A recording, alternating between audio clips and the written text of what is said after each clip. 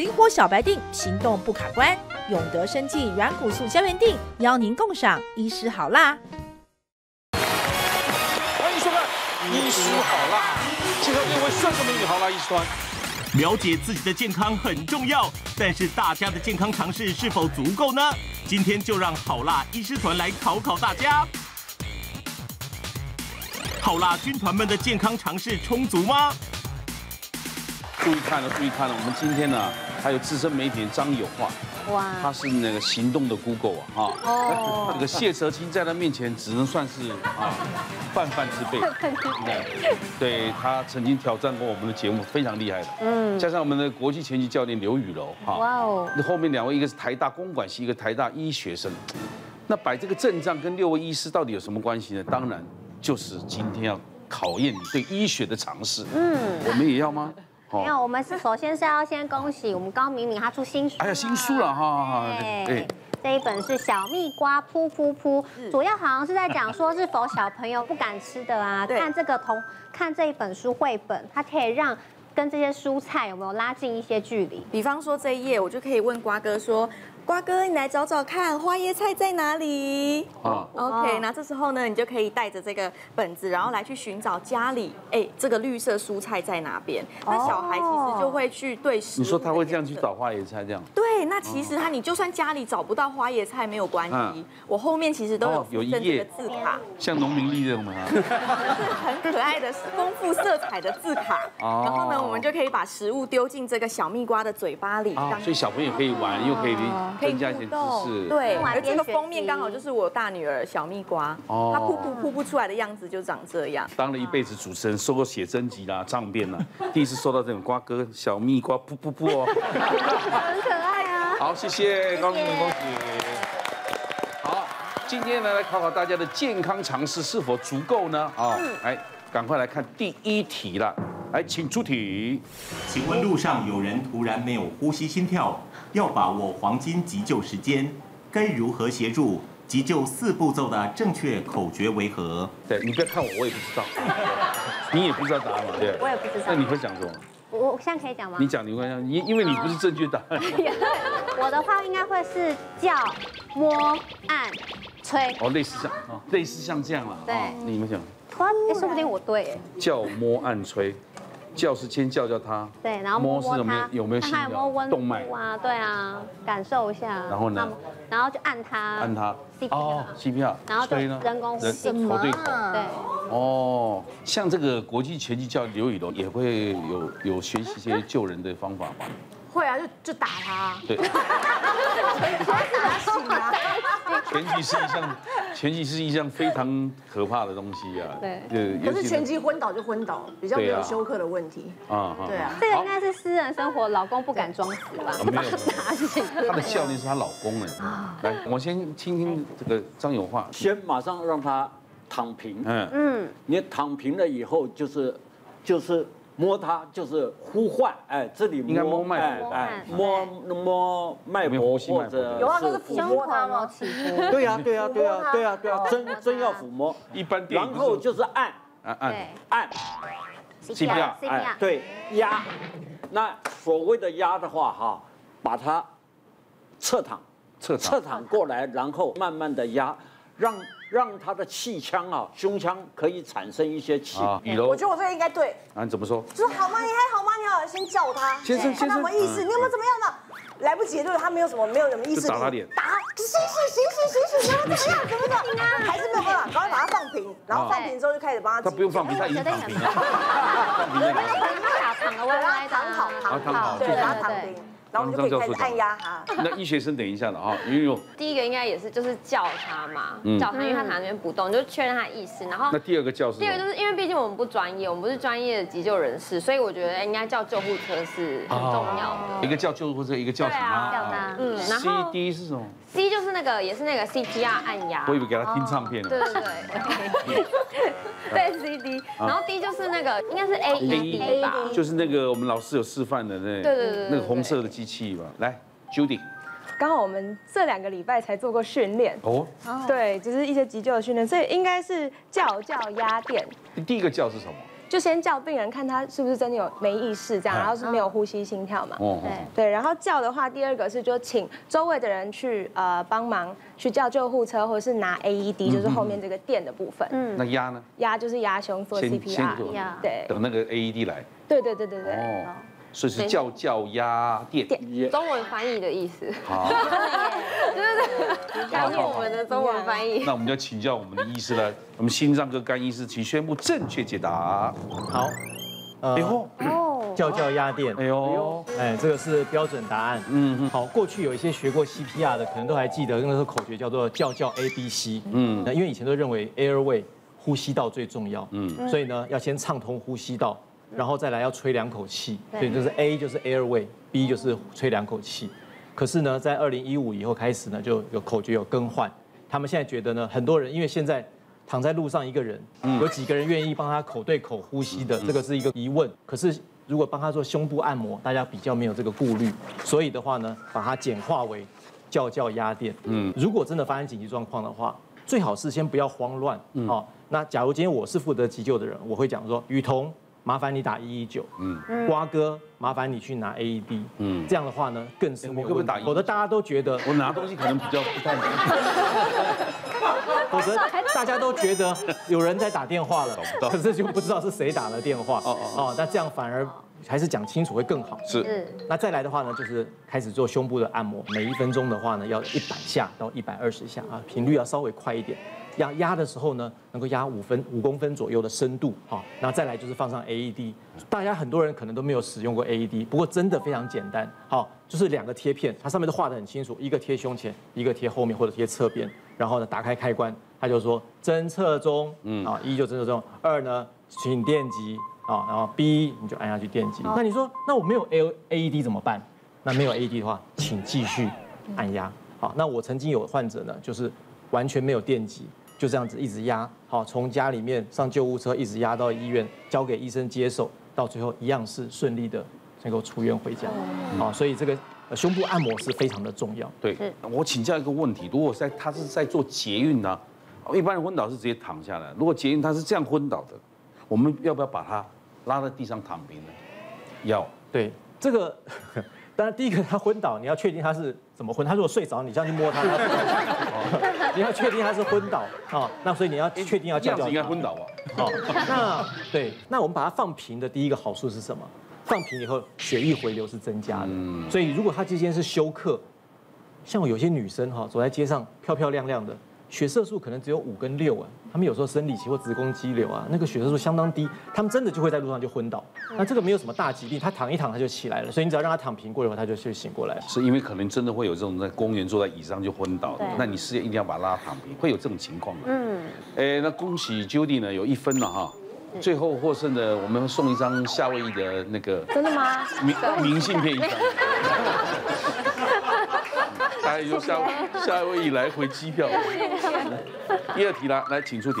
斜板题：小瓜吃东西不小心噎到了，请问家人该用哪个方法急救帮助他？这一定要写小瓜吗？对，小瓜。来，这个写答案没有选择题的。好像有一个方法，对不对？有个名字。对。对。对不对？跟日本的一个漫画很像。很像。四个字哦。有。哦哦，好厉害哦！哦，好厉害哦。那个 Judy 写的比较详细一点。我想张永华先生一定很后悔上我们的节目。来，立板，立板，我看。拍打压松。啊不，也是口诀，就是拍打压松。那我是小的时候两次啊，噎到，嗯，那我我爸爸，嗯，他是把我弄得，因为那个时候只有两三岁，那我爸爸跟我讲，那我只有两三岁，他就小孩子这样，四十五度左右，然后他用掌，好用掌，拍打功，气功吗？没有，从从背后然后一打。那第二个，他就看你，他会听，会不会一声，哦一声，嗯，如果那个那有的话，嗯，他再打打胸部，嗯，然后压一压，给你一杯水，让你放松，那个水里面都含有点醋，嗯嗯，因为有的时候，那你噎到什么不知道，说不定那是鱼刺。那我那一次是是吃梅子，还有一次是用饭噎到。那我爸爸都用这种方式，那我自己躲过两次就是这样，还好没有变成白痴。那一般老年人吃马奇呀，或者啊，对呀，吐司太干也干啊，对啊。对不，对？哈姆立克刘宇龙，你知道哈姆立克法对吧？所以说四个字。哎，来，你先讲为什么要咳嗽？因为我记得我们学校是说，如果他还能咳嗽的话，就先鼓励他把东西咳出来。嗯，对，如果不行的话，才要就是外力去帮助他这样子。哦，可是噎到就对，有些人还可以咳嗽的话，就有声音，我就一直咳一直咳。对，就是鼓励他就好。哎，我有这个经验，我曾经因为吃药很懒嘛，嗯，大概七八颗药丸一次吞，哦可能早上嘛，哇，突然塞到喉咙，嗯，我就一直咳咳，哇哇，他不能呼吸，最后我是用力把它这个药丸咳出来的，七八颗，因为有有是一颗两颗吃，我是突然很急，一急了，对，哎所以这个是能不能咳了哈？林玉如，你知道哈姆立克怎么做吗？他好像是从前面就是胸部下面、肚子上面这个地方去压。可是正确压的方式，其实因为我自己没有碰过，所以我也没有不知道正确是怎么做。是，哇，他很聪明，本来想叫他下来示范，我就知道，他知道，Judy 总该知道了，知道知道来了，请下来。你不知道吗？知道知道因为我不能按下雨筒啊，啊噎到噎到，嘿噎到了，然后就是一只手是握拳的，然后一只手是在呃前面这样子，然后协助他，就是有点这样子。对对，把他挤出来，对不对？对对对哈姆立克是这样。对呀，我知道，但是我不能帮他这样弄。对，那他他他抱我手又太短，不行。好，他这个是哈姆立克法，来黄王仲奇医师请公布。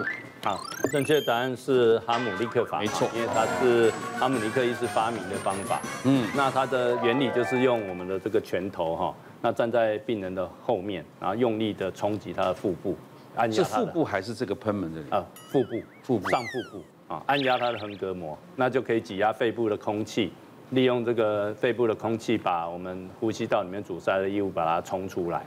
那一般来讲，我们如果一点点梗塞的时候，大家都还是会咳嗽啦，啊能够咳出来最好。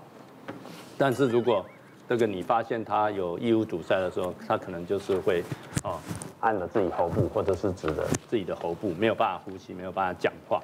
那除了这个呃，平常我们在用餐啊，会有异物阻塞哈，事实上我们在病房也可能会有一些肿瘤出血，造成我们的呼吸道阻塞。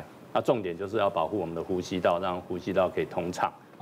而且常常有人吃饭一边吃饭还要讲话，所以常常会噎到那个饭粒或菜渣会跑到肺部，对不对？是，所以是一直要把它咳，用力咳嘛。对，一般咳嗽反应就是异物进入到呼吸道正常的生理反应哈，所以孔子说食不语嘛，就讲话最好不要边吃边讲。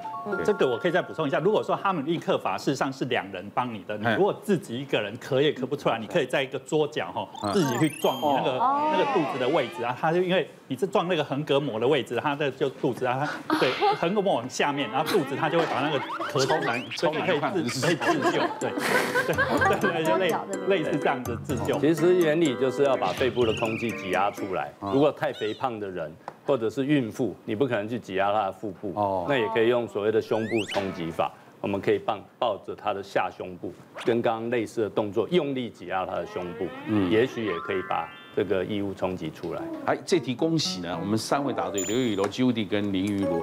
那张教授不要再再让了哈，先让了。刚刚是写答案嘛，接下来我们就比较简单，后面还有好多题都是出答案选项，好不好？来，第三题，请出题。防疫当前，量体温成了每日例行公事。你知道哪个部位的体温量出来可能最低？一、腋温；二、额温；三、肛温；四、耳温。来，请写答案。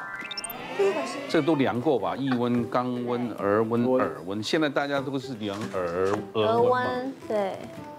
现在其实还有量那个手掌的，手掌，哎，对，照对啊，照那个手掌，是，对，越来越稀松。那个不一定，好像不太一定准。也，不严哦真的吗对，有人说把那个对着墙壁，也是说体温正常。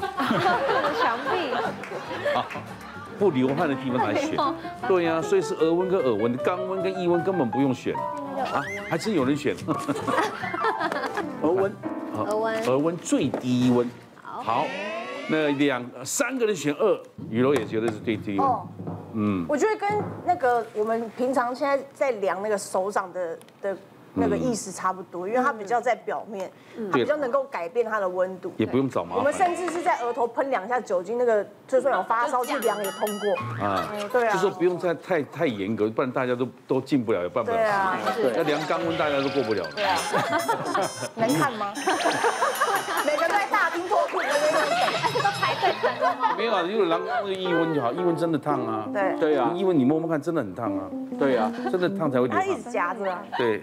鱼露也是啊。对啊，因为腋下肛温跟耳温都是要深入，就是有有感觉比较深入，感觉就是接近身体的温度会比较高的感觉。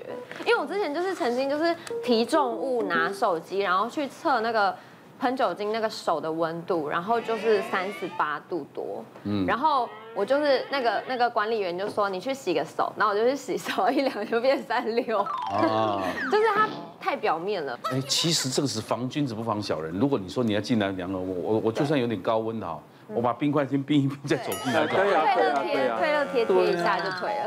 哎，为什么 Judy 你跟别人答案都不一样？因为我是觉得三跟四要删掉，因为三跟四就比较靠近身体中间，所以温度应该会比较高一点。哦。然后一感觉就是。你可能夹也没有夹好，感觉就是温度可能会有一些变化。嗯嗯，所以我最后选了一。那我们请洪永霞，请公布答案。呃，果然是台大医学系的，对，答案是一异温，真的是跌跌破大家的眼镜。我来跟大家解释一下哈，那那个我们要量体温哈，其实总共五种哈，叫耳温、口温、额温、腋温，好，跟那个肛温。那这五五种里面哈。呃，我们要量的真正的体温是什么？叫核心体温。嗯，核心体温是什么？就是我们的生命中枢在像一些脑、大脑，还有我们的心脏的温度。嗯，好，所以一定是要最接近里面，最接近里面会最准确。所以我们其实耳温，你去看你们的在住院的时候，护理师是怎么帮你们量温度的？耳温、嗯肛温，好，所以耳温跟肛温是最接近我们的核心温度，是最高的。接下来是我们的额温跟口温，大概会比我们的核心温度低零点五度。嗯，好，那腋温。腋温，大家觉得腋温很热，但是它事实上我们呃做出来研究是它可以比我们的核心温度低零点八到一度 C。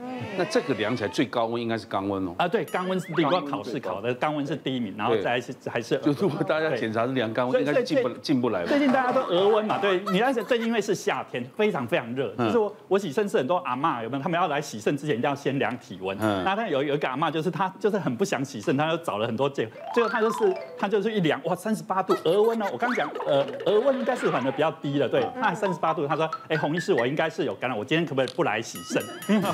我后来另外一个阿妈就说，她实际上她在外面晒了一下太阳，因为她想找借口不想洗肾。在那边晒完太阳之后去量，你知道晒完太阳，可是你在冷气房有吗？冷气房一吹吹，哎，额温就会就会降低了哈。对，所以后来我们护理师就拿一个。耳温枪帮他自量一下，哎，你他的温度是正常的，说还是要洗肾。因为我就一直感觉错，有时候在家里，你知道吗？夏天嘛，你冷气没开，他最最早快流汗是这个地方，还有这里啊。哦哦对，它也会很高温的，后面的有没有觉得？你说你有时候在那边，它会一直流汗下来。嗯，我就觉得那个地方是温度，因为那个我的感那个是汗腺啊，加上四面环山啊。嗯，我们四面环山，四面环山可能会包包裹在那个地方，就会比较不通气。是是是，哎呦，连过三关哦，九点哦，哎呦，剩三分领先了，我快要拿到机票了啊。永德软骨素胶原定，灵活小白定。五大成分，一天一地，帮你守住关键。第四题来，请出题。选择题：小花控制不住嘴巴，爱吃又担心体重，想实行减糖饮食，请问哪个食物含糖量最低？一大番茄，二苹果，三香蕉，四玉米。哎，请作答。哇。这个雨楼马上写好，因为雨楼他是有这个有应该有打打拳有学那个营养学了哈。就地，哦，好快哦。哎，有话是说苹果最苹果应该是苹果最低，因为我们看哈香蕉的热量非常高。那那不用选了，哎，香蕉，然后玉米淀粉，玉米是淀粉质，也可以不用选。那番茄呢？番茄如果那你吃那种牛番茄的话，确切的说，它的含量也蛮高的。嗯，那只有苹果应该是最低的最低的，大概是一天一苹果，医生远离我。对，对不对？没有说一天一番茄，医生远离我，没有，没有对不对？雨柔，牛番茄热量不高，小番茄的热量爆高。什么什么什么玉米番茄啊？对，什么圣女番茄那种那种热量就很高。嗯。然后，因为我们疫情期间就是在家自己煮饭嘛，所以我稍微对一些食材有点研究一下，然后发现牛番茄的热量不高，然后营养价值超高，所以很多我们现在煮饭几乎每一餐都会有牛番茄。然后因为这疫情两个多月嘛，我们就饮食控制，我跟我老公加起来偷偷掉快二十公斤。哦，我刚刚就讲，因为他们两个都是要练习，所以营养学也是要控制，对，啊，不然会变大块肌肉，对不对？对。营养学单的高敏敏来，请公布答案。这题的答案就是一大番茄。那简单跟大家讲一下哦，其实，在控糖的人的那个糖啊，就是指碳水化合物。所以如果有人想要控制糖分摄取的，一定要大概了解一个观念，就是蔬菜的含糖量会比水果跟淀粉都来得低。所以我们可以知道说，像大番茄它就是属于蔬菜，那像雨柔刚刚讲的小番茄，它含糖量会高，就是因为它是水果，这点大家要分清楚。那再来的话，你看它每一百克的含糖量大概就只有四点一克。那你看其他的，只要是水果类的，红苹果十一点九，香蕉二十二点一，然后玉米十七点八，所以它其实含糖量跟它的食物组成会造就它的食物类别是有差别的。那像其实我常在营养门诊上面遇过比较多的，都是一些新陈代谢科，就是糖尿病的啊，或者高血脂，他们常最困扰的就是下午常常会嘴馋。其实我都会给他们一个。很老套的方式，但是呢，这个方式我觉得很好用，就是带一个大番茄在身上啊。哦，不要哈，因为这真的很好用。有的是红嘛，有的是都带点绿皮的硬硬的。对，我会建议大家可以带就是红皮的，因为吃起来至少水分。可是你放久它会变软软的。对，所以当天带出门那一颗，你下午饿的就先吃。我我跟你说，要吃那个绿的硬的，还是说吃这个比较软的？我觉得是吃红色软的，口感会比较 juicy，水分会比较多。那再来的话，有一个地方是呃曾经有一个患者就跟我分享说，哎，营养师啊，你这个方法实在很不好，因为大番茄听起来就很不好吃。那我自己研发了一个方法。哦，就是我们把那个话梅直接往大对往屁股这样一塞，然后再球球哎，那是我们小时候吃的。对，他就说 他就说这个方式其实很好吃。你先塞进去吸吸那个汤汁，是不是还不错？对，那这时候含糖量没有很高，那这些水分啊就会让你觉得冷静下来，哎，没那么嘴馋，你才不会误吃了一些高热量的东西。是哦，里面香蕉是最多嘛，八十哦没有哦。玉米最多，因为玉米它是淀粉类的，九十七大克。对，但是玉米笋就是蔬菜喽，所以如果你想要止肌控糖的人，其实你也可以吃玉米笋，但是玉米它就是淀粉。那个香蕉不是淀粉吗？香蕉不是。香蕉它是属于水果类的食物，所以它的一个含糖量比较高，而且香蕉比较特别的地方是，我们常在跟大家讲哦，你就是餐跟餐中间吃一份水果就好，然后很多人就吃了一根香蕉啊，可是一根香蕉它是两份水果，等于它的含糖量是 double 的。就糖分就其实苹果大家有时候减肥也是吃一颗苹果嘛，它四十二大卡其实还好了哦。对，我是说我是跟有话讲，你选的也不错，苹果 才四十二大卡，好，不要再让了。在第五题了，请出题。选择题，关于 HPV 人类乳头病毒的预防，请问下列哪个正确？一，女性打疫苗才有效。二，安全性行为就不会得。三疫苗有防止菜花功效。四感染过就不会再得。哎，请选项，这应该很好选。Judy，你不用太过炫耀 啊。因为我最近刚好在妇产科。先不要讲了。哎，终于大家有一个非常一致性的答案。来，疫苗有防止菜花的功效。我是选一啦。我会选一，对我觉得一跟三两个当中的一个，啊，因为我有一个朋友，医生就通知他，你最好你要注射啵啵啵，他说不然你会有乳头性病变。结果呢，他说他截至目前为止他没结婚，他也没有任何的性行为，今年五十四岁，但是。他还是得到，所以我觉得就是说一跟三两个当中的一个，那我还是选择三吧。不是因为我身边真的有女生朋友，她就是有这个，就是去看医生，然后发现就是有这个病变的问题，然后医生就会要求她把男伴也带去一起检查。对，要不然一直打乒乓啊。对，所以我就相信说这个东西应该是对男女都应该有效，它不是说只有对女生。于如呢？呃，我。因为我自己是去年我刚好有打那个疫苗，然后他那个疫苗好像不止打一剂，要我我是打打到三剂，然后可是那时候打的时候我就是有去看，他是说打疫苗，但是没有办法百分之百完全，他其实安全性行为也是有其他的方式可能也会得到，嗯，对。然后第四个，因为我没有听说过他是有免疫，就是得过就会免疫，所以我就把它删掉。就是好像说男生把它拔出来就不会怀孕吗？没有一样啊，不是一样的道理，是一样的道理，所以我们不会去选选第二嘛。对，Judy，该你好好发挥了。嗯，跟你讲。嗯，我比较想要分享是第一个选项，女性打疫苗才有效，因为有些时候好像。就是可能之前都会觉得好像就是女性会比较会去呃去打疫苗，因为可能会担心我们会得到 HPV。嗯。可是我觉得就是其实这应该是双方，因为打疫苗其实也蛮贵的。嗯。所以这应该是双方都应该要去讨论，然后负担。所以你否定掉第一个是说女性打疫苗才有效，包括男性也要打。对。是这个意思。而且好像现在就是刚刚有提到说。年纪可能到四十五岁都还可以打，就是也蛮多年纪就是比较长一点的女性也会在打。是因为刚刚有话讲了，没有性生活也有可能会，你会感染啊。疫苗有防止菜花功效，但是它不防淋病啊。对，对不对？嗯。所以张医师，请公布正确解答。啊，哎，真的是三呢，真的三啊。哎，不不过这个哈，就是说疫苗的部分事实上都是一直在更新啊。嗯。所以这个答案有时候也不是说真的就是这么。百分之百的绝对，那我们只能就从这个当中去挑说比较接近的部分哦。那第一个就是说，它这种 HPV 病毒的感染哈，事实上它这 HPV 是一个大型，那它里面有分了很多的小就亚级型的部分。那它包括说有一些是对我们的疾病没有影响的，那有的是说会造成，比如说有一些性病啊，就像像菜花之类的。那有一种就是所谓的高危险的部分，它就会造成癌症的部分。那癌症我们大家都以为说只有跟子宫颈癌有关，事实上跟阴道癌、外阴癌，还有就是男生的阴茎癌也都有相关。那甚至于目前也有一些是说那个鼻咽癌的部分哈，也有些人是因为这样子感染到，也会有一些相关。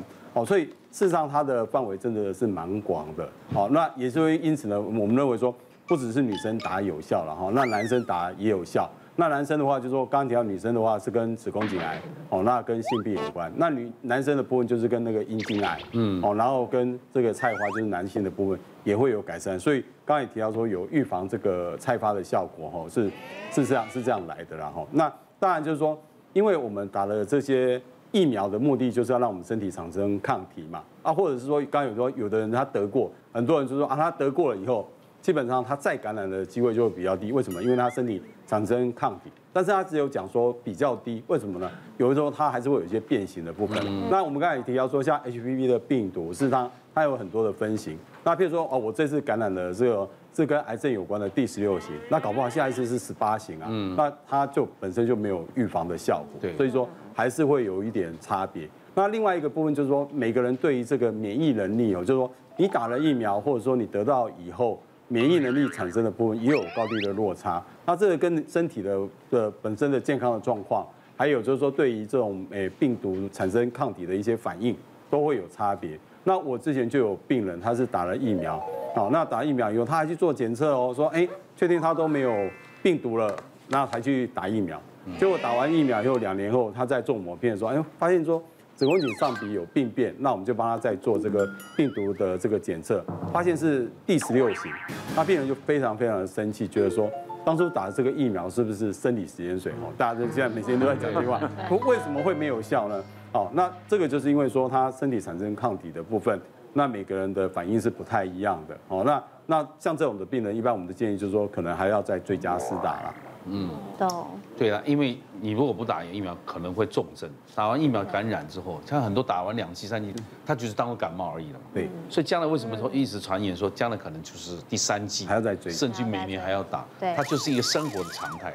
嗯。那人就开始想话，我们生下来都一直在打疫苗嘛，肺炎链球菌也打个疫苗，流感也打疫苗，对，知道怎么哎陪爪嘛打疫苗，会不会打太多疫苗？卡介苗也要打啊，对呀，那我们身上会不会太多疫苗？所以有的人什么都不打的也有。可是我觉得这是一定要的，因为我有个朋友，他有打过那个疫苗，子宫颈疫苗，但他是打到九价，但是后来他去查，他就是一样去做抹片，他就发现他的那个有有发现一个那个病变的病毒，因为他防范的病毒不在那九价里面，他中的是之后新的十三价。它防范的病毒，对，所以流感每次都会增加嘛，对，十二加十四加这样增加，嗯，是世界越来越堵了哈。哎呦，，Judy 连过五关了哈，哎，恭喜有话开张了啊！哎，接下来第六题的，第六题请出题，选择题，全民风运动，你知道运动时抽筋了，哪个处理方式可能没有缓解效果？一，吃香蕉；二，给予热敷；三。给予冰敷，四拉伸抽筋部位，哪一个没效的啊？请作答。这个很容易选吧？抽筋跟吃东西，会有不同的答案很遥远呢。我们看 Judy 很难写了，看他错一题了，太好了。要假装错一题了吗？来立牌，大家都立牌。哎呦，哈，哎，对啊。大家认为吃吃香蕉是没有用的，那冰敷有用吗？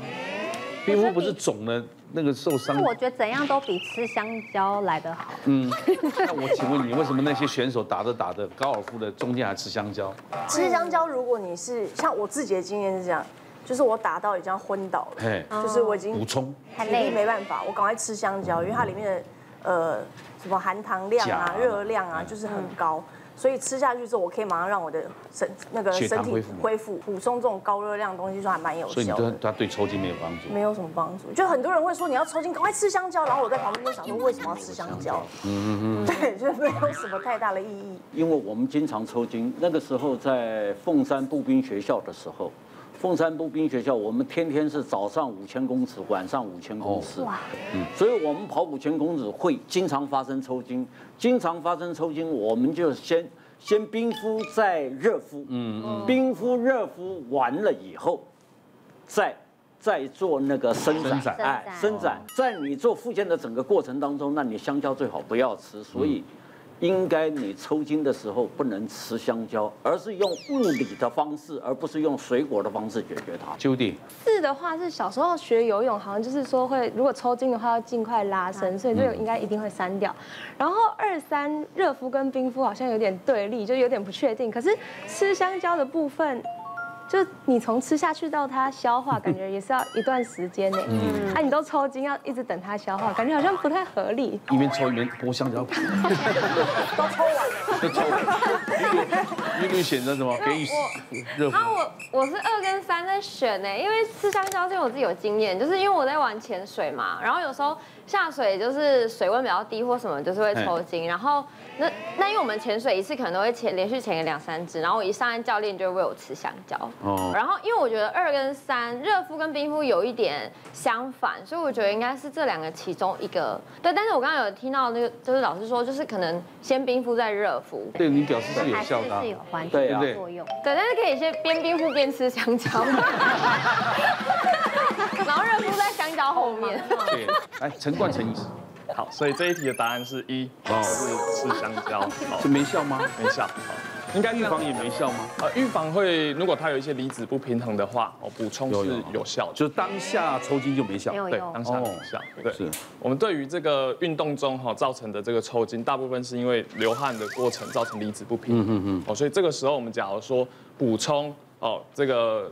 嗯，运动饮料或者是含有电解质的这些饮料哦，会有一些帮助。那另外立即要做的事情，其实是要先休息，然后做一些伸展哦，然后再来就是哦，就是我们把那个肌肉紧绷的肌肉把它拉松。那至于冰敷和热敷，在这个接下来呢，可以慢慢的使用。这个时候是让它缓解它的疼痛，然后还可以做一些轻微的按摩哦。所以我们对于一个呃运动中的抽筋标准的处置方式是这样。那虽然说这个。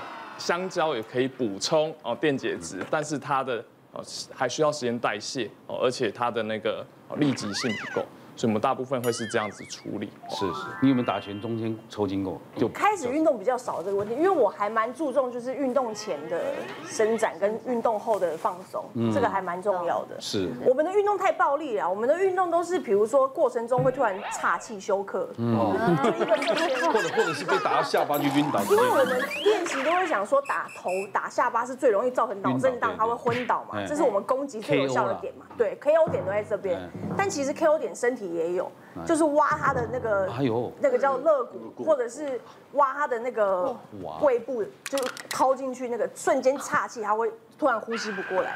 他们练拳其实也要练挨揍啊，对，就是尽量打我身体，怎么样去防范。对，可是打着打着，你总会疏疏忽掉一个点，常常就是决战那一刹那，就零点几秒就把你。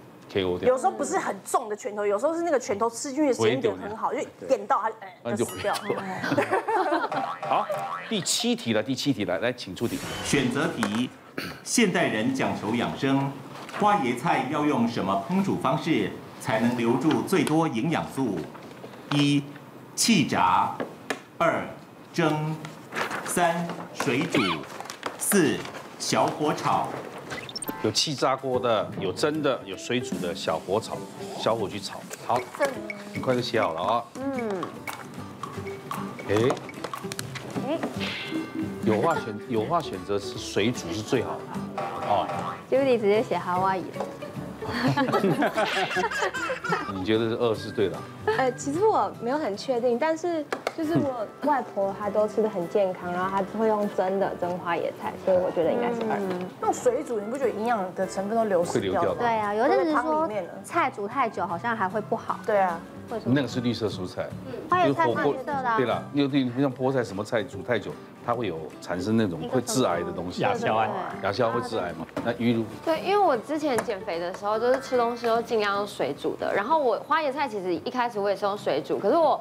煮了整锅，我发现就是那个水都会变淡淡绿绿的。然后因为花椰菜是深色，然后我都觉得那个汤不喝掉有点可惜的感觉。可是它其实就是水，所以后来我就是改成用蒸的方式，感觉就不会流失，才会留住养分嘛。哈，来，高明明请解答。好，正确答案就是二，用蒸。蒸的，对。因为其实呢，还真的有不少研究下去，针对每个蔬菜的烹调方式来去看它营养价值的流失有多少或保存有多少。就后来发现呢，花椰菜如果用水煮的，它水煮大概五分钟之后哦，它比较特殊的一个抗癌成分，像是含硫配糖体。它竟然可以流失二十到三十 percent，那如果煮了三十分钟之后，还可以直接流失到七成这么多。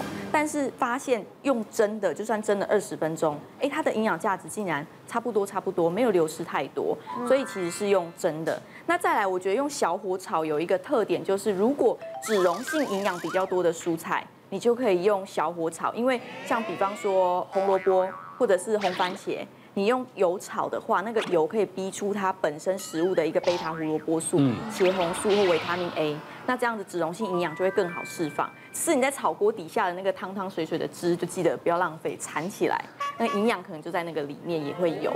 那再来的话，气炸就不用说了，因为气炸锅是透过一个气旋那个高温的空气的原理下去逼出它食物本来的油，然后让它表面有那种油炸的感觉。鸡块去炸。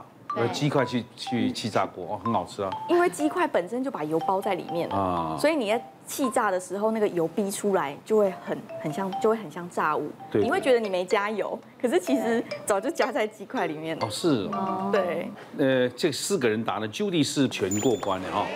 哦，你好厉害哦。可以免费来上智多星餐。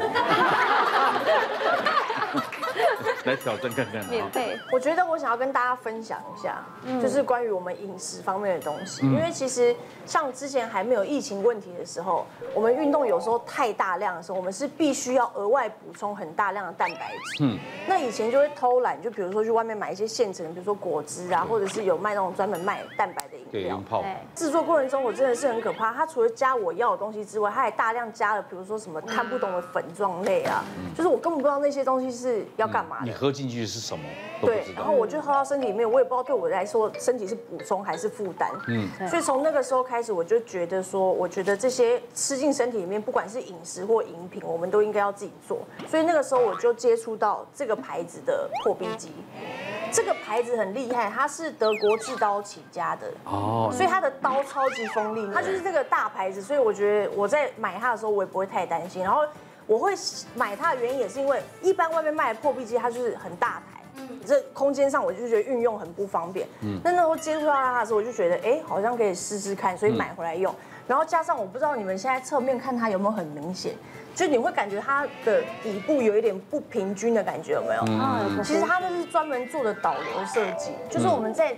打的时候，它会帮我们搅拌的非常均匀。哼那它这个有感应哦，你如果放的位置不对，没有卡好，或者盖子没有弄好好的话它不会启动。哦所以你如果家里有小孩子，你不用怕说他去玩它。然后它还有一个很特殊，它是这个真空的设计，我们只要把它对上去之后，按这个钮，它就会开始真空。那通常它会自己它它会自己侦测里面的状态，到真空之后它自己就会停掉。真空其实设计的原因是因为我们要让它就是食材保存保存在它最新鲜的状态，嗯。我们不要让它氧化的太快。对啊，然后雨桐你可以拿一下这个瓶身，一般我们在拿破壁机的时候，我会觉得很不舒服，因为它很重。重，因为一般是用玻璃做的嘛。啤酒吗，？哎，干了，没有，它很轻啊，这玻璃做，的你平常拿很重，然后洗的时候很怕把它敲破。嗯可是因为它的这个瓶身是用我们奶瓶等级的质料去做的，对所以就是很轻之外，我们清洗也非常方便。而且它握把其实很好握，哎，嗯，对。对。我们今天做一个苹果奶昔给大家喝。OK，好。好不好？但是我们不去皮也不去籽，我们放一点点冰块。你知道我以前小时候啊，就是印象当中都要打果汁，我都要把苹果就是要切的，真的就是切成块状它才打得碎。所以我刚看你这样放，就觉得哎就觉得有种很神奇的感觉。好，然后我们加牛奶，好，然后我们会加一点点蜂蜜，哎，但是一定要买好的纯的蜂蜜哦，因为蜂蜜其实对肌肉就是的恢复是有帮助的不。纯砍头那种。不纯砍头那种，你想看鱼，我觉得它好贤惠，好美。我每天在厨房都在做这件事情。哦，对，对，然后我们记得就把它盖上去。那要抽真空吗？对，我们可以抽真空。它抽到它自己会停啊。哦停了。对，就是它上面会有那个指示，你现在要做的是什么。那我们是打饮料，所以我们就把它移到饮料的地方那。其他还有别的东西？它有啊，我们可以做一些，比如说果汁类啊，然后食食物类、冰沙类，我们都可以做。然后我们就把它按下去。还有分段啊，还有分段还有十七种的模式，我们可以自己选择，哦可以自己调整。对然后有一个模式我超推的，清洁模式。清洁模式这个很重要，耐久耐久，它就是你水加进去之后，对不对？你是要滴那个洗碗巾啊，你就滴个三四滴吧，然后你就让它打，它就里面全部帮你洗干净哦，，很方便呢。是不是很这个推？要洗，有一些那种有凹槽，有一些那种角度问题没办法哎打好了吗？它好了，它刚刚自己分段就打好了，分段，好像很快。哎。对，他就这样打好了。然后我们现在就把它拿起来，好像有，好像有容易而且它很浓稠哎呦，刷个线，刷个线，我们有吗？好，来来来，谢谢谢谢。你先说说看看有什么事。还是由营养师喝好。来，那我给他好，不用不用。哇，哎呦，来来，好不用，谢谢谢谢。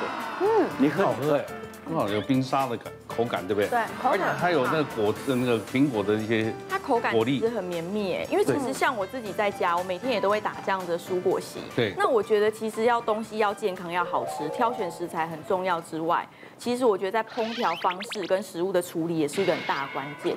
因为很多食物其实都有很多营养，烹调方式不正确的话，可能就会这些营养素就会流失破坏或没办法好好发挥，嗯就会很可惜。像是很多蔬菜啊、水果或者是全谷杂粮类的食物，我都鼓励大家可以连皮一起吃。其实你因为很多小朋友可能不会连皮吃，可是你这样打就他就很能接受。对，因为很多人会觉得外皮的口感会比较不好入口，嗯可是其实像雨柔这样的做法就非常聪明，就是当你选了好用的机器，那机器就会帮你把它处理的非常细致绵密，营养也保留更完整。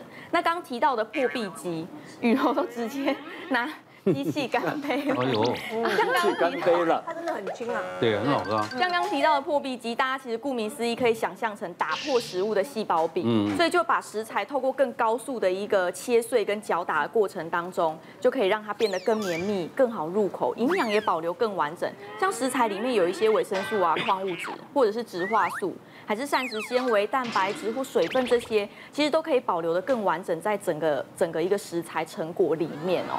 那像刚刚提到那个抽真空，其实也很棒，因为当你食物在搅打前，你先抽真空了，在它搅打的过程当中，其实就比较不会容易氧化，那打出来的成品也会不容易分层，气泡比较少，然后也会延缓它的变色，重点是它的营养保留就更多了。是，哇，谢谢营养师。